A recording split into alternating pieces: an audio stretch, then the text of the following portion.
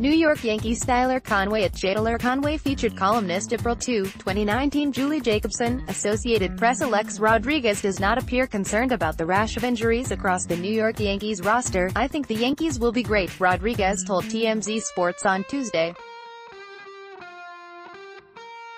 It's gonna be a great year. Giancarlo Stanton, Miguel Andujar, Dellin Betances, Aaron Hicks, Luis Severino, Didi Gregorius and Aaron Hicks are all injured. The Yankees have started the season 2-2, including a pair of losses to a Baltimore Orioles team most expect to finish in the basement of the AL East. Look, we're talking about really good players that we are missing and are big parts of our club, Yankees manager Aaron Boone told reporters. One of the things, we feel we are equipped to handle this and especially in some of these cases we believe in the grand scheme of things are going to be a short-term basis.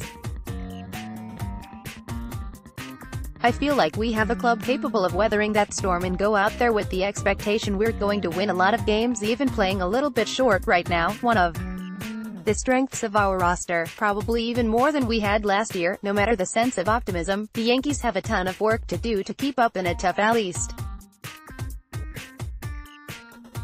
The Boston Red Sox have scuffled a bit to start their title defense, but the Tampa Bay Rays have raced off to a 4-1 start and probably aren't going anywhere.